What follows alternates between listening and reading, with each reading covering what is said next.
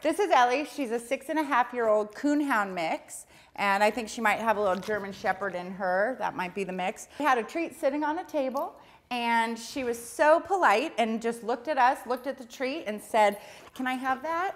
And just sat there and waited for it and gave a little bark to let us know she wanted it. And then when we gave her the treat, she took it gently and then just ran circles around the room, just crazy happy. Um, she's really sweet. She's pretty smart. She already knows how to sit for treats and, and pose for the camera.